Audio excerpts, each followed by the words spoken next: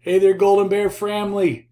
Hey, last time we left off where we have uh, 13 colonies. They're splintered, uh, kind of fragmented, uh, sensing that something is changing, something that that the intolerable acts are causing tension between England, sensing a King uh, George III that is not responsive to the needs of his people, uh, sensing that uh, quartering acts and other aspects are being forced upon them.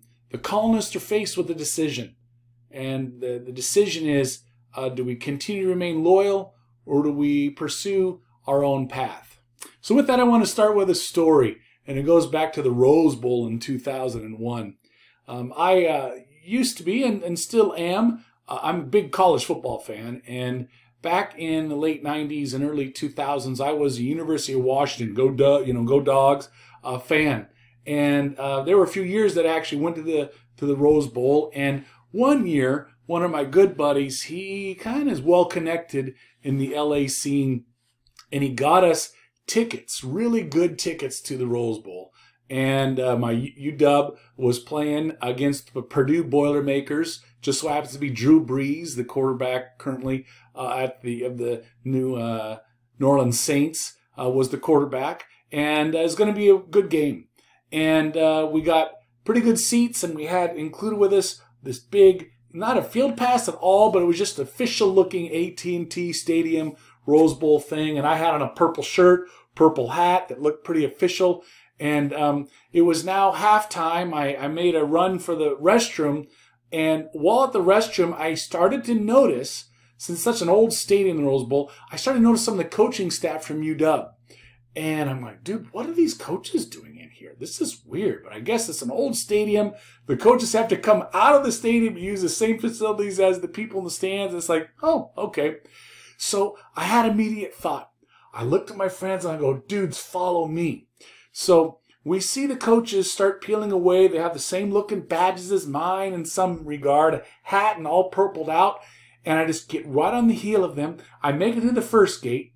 I'm now walking down underneath the stadium, past to a second big guard with a yellow jacket on and doesn't even see me. He sees me blending in like I'm the coaches. I don't even look back to see if my friend's with me. I'm like, dude, I'm there. I can now, underneath the stadium, I can see the grass field ahead of me. I walk through. I'm on the heels of another coach. I, I just kind of keep my head down. I, I make it past the third third yellow jacket, and now my feet are standing there on the grass of the hollow ground of the Rose Bowl 2001 with my UW team in front of me and the Purdue Boilermakers on the other side. I'm looking around, I'm like, oh my gosh, is this for real? I kind of keep my head down because I don't want to be kind of noticed as what's happening. I walk to the 30 yard line, right onto the cusp of where the coaches have to stand inside the 30 and where the non coaches stand. And I just sat there and I, I looked around to see if any of my friends made it. Nope, they didn't make it. I continue listening to the band. I continue to kind of see what's going on. And I keep waiting for that proverbial touch on my shoulder. Sir, are you supposed to be here? No touch happens. Second half kickoff takes place, and you should hear the crowds roar. It was incredible. It was, I've never experienced when 100,000 people are at a stadium and all their voices are directed downward for this.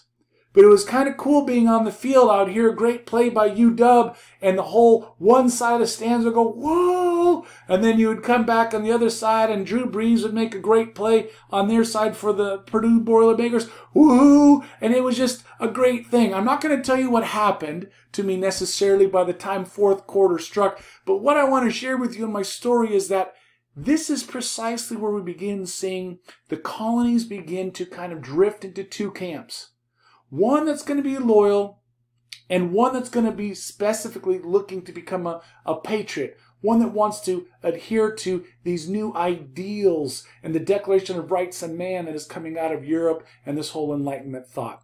So as we move into the next slide, just be mindful that there are some factors that play into the 13 colonies moving towards and beyond protests and boycotts to eventually declaring their independence from their forefathers of England.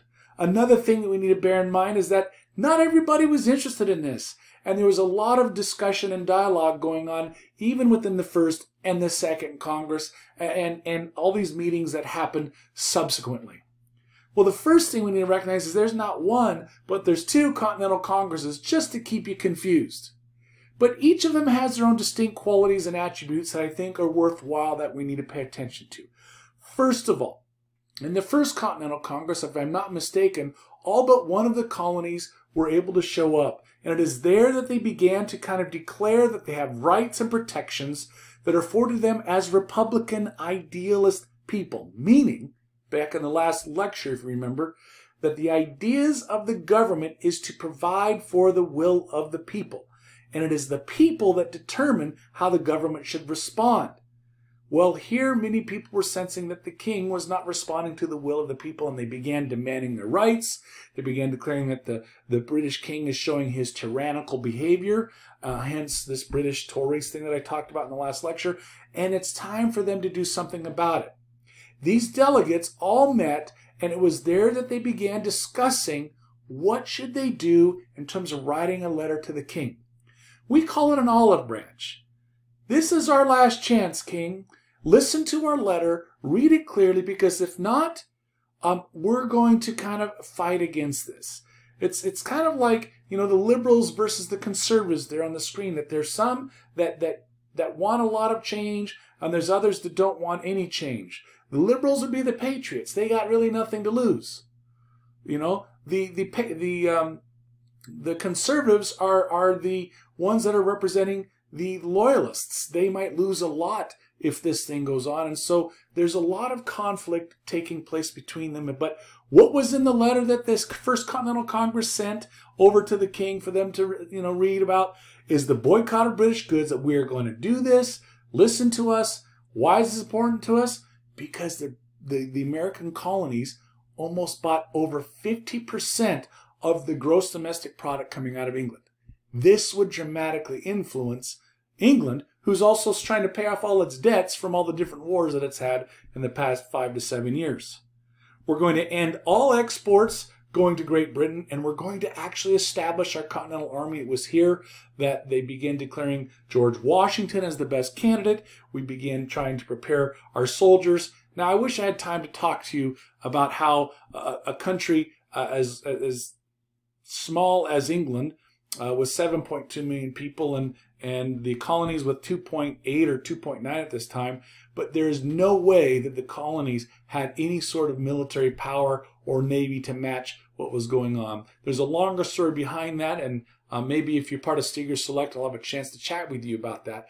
But you need to recognize that what is unique about the First Continental Congress, and I have it there for you, that the Albany Plan put forward by Benjamin Franklin, not you know, eight or nine uh, years or so before saying, come on, folks, let's get together. Let's find a way to be unified in this. And they basically chopped up the snake, if you remember that picture. They couldn't come to terms. Now, all of a sudden, they're putting aside their differences, they're picking up their pints of beverage, and they're finding reasons to come together to fight a common cause. It is there that eruption, uh, problems begin to happen across the landscape of primarily Massachusetts, those darn rebellious people up there. And we begin seeing patriot groups going around gathering weapons and storing them in houses and town places across the outer regions of Boston. We see propaganda going up on walls and, and in conversations at churches. We see local military men, the Minutemen, as you've probably been taught, are beginning to kind of become loosely affiliated with one another. They began having spy networks watching everything we, we see that the British troops are doing. And then there was this small little town about 20 minutes of modern day driving outside of Boston in Lexington, Concord, where there was the first shot heard around the world, they like to call it, where on a small little bridge, no bigger than what two cars can pass over, was a skirmish that took place between some Minutemen there who were kind of tormenting and, and, and attacking uh, the, the redcoats that were training in the field nearby. It was this skirmish that was a trigger point that enabled um, the, the colonies to begin finding reason for them to move forward. Well, soon after that, a Second Continental Congress is convened. Why? Because the letter was summarily dismissed. Why? Because the king began sending over more and more troops in order to um, kind of make sure uh, Boston is on lockdown, sends more to New York to make sure they're on lockdown, is sending more to Philadelphia to some more on their lockdown. And basically, this idea of do we negotiate with them further when they've already dismissed our first letter sent during the first Congress, or do we fight? Well, that is decision is made quite handsomely and easily because on the next slide you see that the British show up and they begin immediately attacking different parts of Boston. They begin a, a major fusillade of, of, of firepower using their boats and other things and also on higher parts of Boston, Charlestown, that essentially, yes, the British had won, but at a tremendous cost to their amount of soldiers that were there. It wasn't a, it was a victory, but it certainly came at a great, great cost. What is important about this? That Second Continental Congress declares unequivocally that George Washington will be our appointed commander in chief and, and basically declares war on England. That is the other significant part that we need to know about the Second uh, con uh, Congress. Well, because of Washington now coming to power and the Second Continental Congress saying, we will begin funding you officially, we'll begin declaring this Continental Army as something that we need to support, um, there were two things that, um, that, that Washington was going for. One is to make sure that we can get the British out of Boston and that area as much as possible and as quick as possible. And two, let us make sure that we aren't going to be attacked by other British forces. During this time, uh, King George III had no problem and he had deep treasury pockets. He was actually in contact with Native American tribes, not he personally, but his emissaries, and he was saying, hey, if you promise to join in this fort, we were going to give you the lands beyond the proclamation line and, and more than that. Um, to the German people, they were called the Hessians. He hired over 50,000 of them to come overseas and to sit there and act as part of his army uh, so they his people did not have to be involved. Why? Well, many people in England actually were bothered by the fact that you have Britain fighting other British people. Uncles fighting nephews or, you know, sons going over and shooting cousins. And so there were some battles even within Parliament of saying, wait a minute, wait a minute. How are we shooting our own kind? And so this forced King George who, who was frustrated at the Second Continental Congress to use actually these soldiers, like I talked about, the Hessians, to kind of help fight. Not kind of, but to be instrumental in fighting. And that's the whole famous scene where you see George Washington on Christmas Eve going across the Potomac and attacking them. Those weren't British soldiers that he was attacking. Those were Hessian paid for soldiers that we were attacking in order to eventually bring about a defeat. And they kind of scurried off and says, I'm just paid to fight. I'm not that big uh, commitment to this type of thing. Well, it's during this time that Lord Dunmore, you know, went to African Americans, as you can see there in the notes, and said, We promise to give you your freedom if you come to our side and fight. This was huge declaration because down in Georgia, down in the South, uh, those types of slaves there would be very instrumental in kind of creating another pocket of of problems for for those in the colonies. And so this was an important kind of uh, plan that the British people had wanted. And they also sought out uh, Native Americans in this time period. But what we begin to see, and you got to pay attention to the timeline that you see there in my notes, that this is November 75, the Dunmore's proclamation. It's still not quite America, not Americans, but the colonists are like, well, yeah, we kind of think we need to have independence. Yeah, uh, but we think France will come in and help us because they really hate England. And we know Spain wants to stab England in the back for what had happened in the prior wars. So if we get military assistance from France, maybe we'll be good. Well, the military assistance in France doesn't show up until later on when we talk about a turning point in the war, but at least it's held out as a possibility. So still the, um, the colonists aren't quite on board with the reason to join in this conflict. But it isn't until January of 1776 that a relatively obscure person comes over from England. He picks up, he's a corset maker. Uh, you know, that's what kind of helps keep the stockings up beneath the dress. And he writes this pamphlet that has two declarations in it.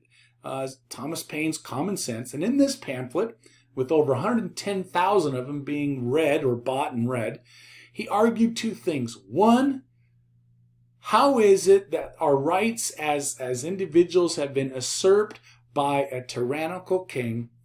And two, how is it such a small country as England can dictate the terms to a group of people who are 10, 15, 20 times their size? Why is this happening?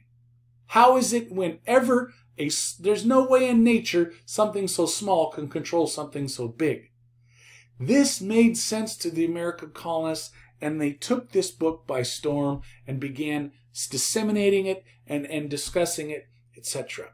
Here you begin to see, I love this statue where um, after the King uh, George III, ironically, had repealed some of the taxes, uh, people here in New York City actually erected a statue to him in his honor made out of lead.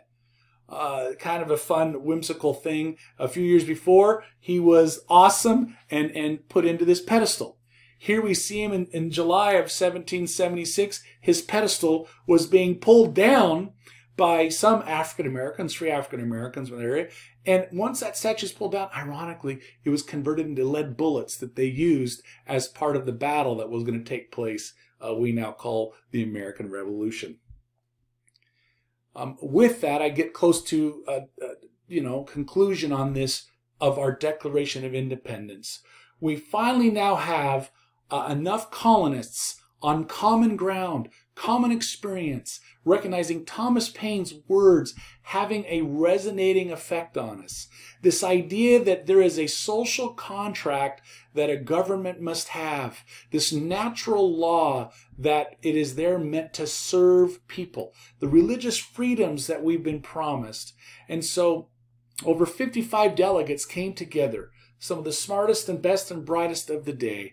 And they turned to a man named Thomas Jefferson, a 33 year old, uh, bright, young, rising lawyer, and said, Hey, take these ideas of Henry Lee that he is espousing that we need to be a group of united, uh, nations united, and somehow turn that into some sort of note we need to send off to the king.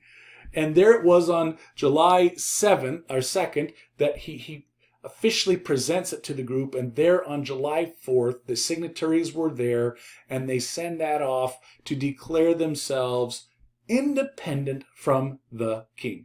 You can see that most colonists try to sit there and say, well, I got a business and a family to feed. I don't know my thoughts on that. Half said, oh, hecky yes, Doodle, let's, let's go to independent. But still, a fifth wanted to remain loyal. Where were those fifth? Most of them were down south remember down in the Georgias, the South Carolinas, and into the um, the Chesapeake Bay area. They were forced to change sides, I mean, choose sides, and and many um, opted based on the one fifth of the half. But one group that was sought out was that of the American Indian Allies. And as you know, the Indians continually have been frustrated of being pushed off their land, pushed off their land, pushed off their land, heading west, west, west. And despite the proclamation line of 1763, they still felt that they were being um, encroached upon. And so the, the British felt that they had a very easy job of encouraging the Native Americans to join with them. Why? They just kept saying, look who's here. These colonists, have they ever shown good intentions? No. They've never honored them. In fact, look what they've done from the Paxton Boys riots to Powhatan's war. Um, all of those times, your people have been hurt. Who wants to stay out of this skirmish? Well, don't forget the Quakers and the Mennonites. They refused to pick sides. Remember, they came here as Germans and like, dude, this is your issue, not my issue. This is your king, not my king. We're just here to live in liberty, and there's been no problem up to now. But all of a sudden, you all think it's a problem. No, we're not going to do this. But there was an all-in effort for the most part from women uh, being participatory to it, to even uh, the uh, to the uh, African American movement people uh, started to join in, and I'll, I'll, talk about that in another subsequent lecture. Um, so choosing sides, as you can see here, um, is, there were certain loyalist strongholds in this. You can see the predominant amounts of them are down south, uh, where where you see major towns, where there's churches, where there's industry, where there is trade centers. That is where you found the greatest degree of loyalists. but out in the interior, out in the frontier, where there were farmers, and where um, what makes this unique and why the colonists eventually, you know, um, you know, don't want to ruin things for you. Hello, uh, what do they call that? Like a, you know, uh, I'm going to wreck the information for you. Watch out, here it comes. Yeah, the colonists eventually win. Okay, but um, you can see the interior. The navy of, of the British was incredibly powerful, the most powerful in the globe at the time, but the navy can't get to the interior. And this was the colonists, one of their major strategies is that they couldn't, the, the redcoats couldn't find a way to get in there, let alone replenish their troops like they want. And I'll be talking about that a little bit later. But you need to recognize that there are definite strongholds and there are definite loyalists uh, between that uh, during this time. So, a quick summary we need to recognize that because of the intolerable acts, same thing as the coercive acts, uh, we see a lot of colonists begin to say, We're tired of this, we're weary of this, with the, the Continental Congress failing for the first one to be receiving that letter. By the time we get to the Second Continental Congress, um, we have in America, I'm sorry, colonies that are officially coming together with Thomas Paine's common sense leading us on the charge to begin joining, seeing the king as our nemesis and our enemy. All right, well, let's take a little breath now before we jump into our next module 3.4 and talking about the winning of the war for independence. And uh, so, with that, I want to, of course, always start with a little story here. I can remember uh, there was construction going on around my house uh, around the early middle school years in sixth grade or so. And I can remember my friends, Danny and Joe and, and Jason and David. Uh, we went over by this construction site and they had a bunch of uh, big uh, dirt movers that were there. I mean, big, you know, big things. The tires as tall as we stood at the time, and um, and we were just silly sixth graders and don't want to go home and do homework or do chores or that type of stuff. And I can remember that we kind of teamed up and we loosely started playing a dirt clod fights because there was a lot of with the earth movers there. They had disrupted the dirt, and so one earth mover was kind of about 30 or 40 yards away from us, and so don't know how we picked our teams, but somehow we just ended up being Joe and myself were on on and David were on one team and, Jason and Danny and others were on the other. But uh, so uh, I can remember literally. I know this is stupid, and you ask yourself, they literally were throwing dirt clouds at each other. Yeah, that's just what we did before parents checked up on us and made picked us up before and after school. You just did everything on your own, and of course, you made stupid choices like that. And so, you know, we weren't intentionally trying to hurt each other, but we knew if we got hit, we were out. And so I can remember, you know, the first game or two, we were pretty evenly matched, and one of us would hit that person, the other put that person. But there was one time as we kind of game got closer and closer, there was me and Joe on, on one side, and Danny was the only one left on the other. Now, we didn't know this at the time because we all just grew up a bunch of slappies, but Danny ended up being, he, he's incredibly smart. He's got 155 IQ. We didn't know how smart he was until the college years. And um, so uh, Danny outsmarted both of us. And here's what he had done. He, realized that he was outnumbered. Joe and I were kind of working around from both sides. We were going to kind of go up and tag team and make sure this guy was out. Guess what the guy had did? He he totally outfoxed us by he picked up a couple of dirt clods and he threw one of them up in the air.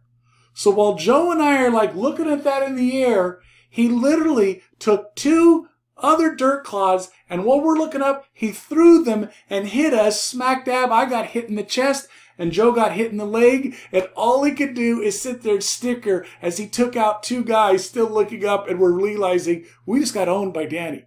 He taught the victory taking us out like that. And that reminds me of what is happening here is for the colonists in order to defeat um, this world power of England, they have to come up with some trickery. They have to come up with some strategy. They have to come up with some good luck that everything's going to come together. And it just so happens to be that all three of those things come together. Now, it doesn't come together quickly. It takes a lot of help from other neighboring countries and um, and some diplomacy and some fiction and everything else. But let's hope and see how this story unfolds for us here we need to recognize that there's a lot of factors that led to the Continental Army to win the eventual Revolutionary War.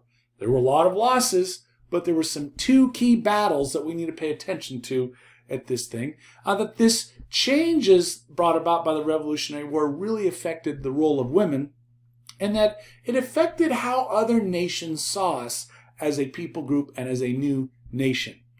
The first part of the critical years of the warfare, July 1776, when we just declare independence, it kind of begins starting quickly right out of the door. The British are doing well. They're kicking our booty, taking names. You can see between July and December, there was not one single victory our um, army had had under General George Washington.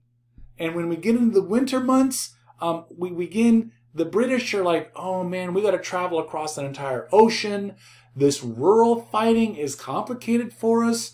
Um, none of these colonists are actually engaging in war appropriate behavior. They're like doing guerrilla warfare. And so, this, by the time the winter months began coming around, you can see both the North and the South, you know, working together to supply and regroup the Continental Army that was there funded kind of initially by the Second Continental Congress. So the urban versus rural is what really helped uh, um, the colonists have a chance. Because if we had nobody in the rural willing to fight and, and draw out the military of Britain in any way, it might have been an easier battle for, for the Britain to destroy just the colonies if that was along the coast. And so, as I've told you in the last lecture, we have the Hessians who are there fighting. We have Washington attacking them on Christmas Eve, surprising them, and kind of getting the first victory uh, there for George Washington, and the press really loved it. Now, another victory came upon is this Battle of Saratoga, and it's a long, drawn out story between General Howe and Burgoyne of, of Britain and their their kind of hubris about how they were going to go defeat George Washington up in New York and his ignorance as a general. It was just a lot of hubris by, by the British. But ultimately, what happened at the Battle of Saratoga is that while Burgoyne was kind of sleeping and taking an easy chill pill, thinking that everything's going to be fine, he gets surrounded by Washington, who had snuck down there, not in the middle of the night, but in a rather quick way and quick fashion, and he had to surrender one of the most leading uh, award winning generals uh, of the British Empire at the time, uh, had been defeated. What did this do? Well, it instantly kind of became a windfall for the Americans. And I'll, I want to come back to the role of women here uh, in this shortly. So even though the supplies were were minimal, what did this victory at Saratoga do? You need, you need to remember this and put a little star on that. The victory cemented that France now sees America, the colonists, as contenders. What? Contenders? You mean that they actually might win something? Well, maybe not. But France was certainly willing to stick it in the back, stick it in the front, stick it in the head, stick it anywhere they could to get back at England for what they had done to them up in Quebec and, and, and, and, and along the, the Great Lakes and also including in England and in Europe. So this was a unique opportunity that France was like, yeah, we'll join with you. What else does this do? It legitimizes the colonists as being seen a legitimate country that will someday maybe be their own. This is a unique thing in the political, geopolitical world, and it made a very powerful statement to the colonists at that time. Let's take a little moment to look at how women had contributed in a significant way. And when we do the Steger Select, we're going to read some documents and unpack them together. But we need to recognize that while the men were gone, suffering insufferable conditions, uh, ragamuffin clothes with barely any enough things to keep them warm and fed, etc. You had women taking over the duties at home while the men were at war. You had the women intentionally raiding the stores and warehouses of loyalists, people who were loyal to the king, in order to send those hoarded goods off to the front lines. We had them working as spies against the British and giving them information to the continental forces. You even allow some of they went and joined their husbands in disguises in order to join them on the battlefield and, and to assist them, kind of like Mulan did in the whole Disney type of situation. I encourage you, if you want to drill down more, there's a great video on that that you can watch. There's a hyperlink.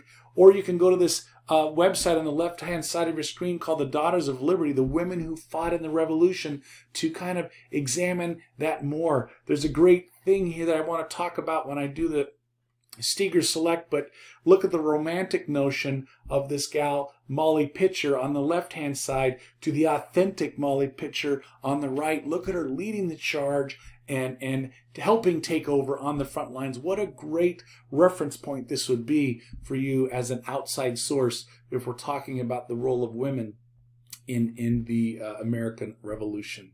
So in 1777, the Continental Army um, was doing well kind of at the beginning, but then the winter came.